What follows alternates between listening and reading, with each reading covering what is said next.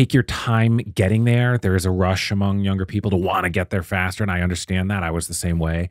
Uh, but not to get cliched, but it's a marathon, not a sprint. Mhm. As you said, uh, there's a lot of great stuff coming up in the coming years if you stick with this.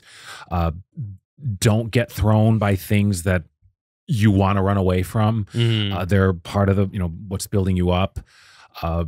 Lean into things that you don't know you'd be good at that just seem like you said uh, you were saying something along those lines earlier get out of your comfort zone do something that you are you know ahead of time you're very likely to suck at. Go to a Mm. mic with nothing prepared and just talk off the top of your head. Maybe no one's going to laugh but you sacrificed five minutes to make yourself uncomfortable so that that becomes more comfortable over time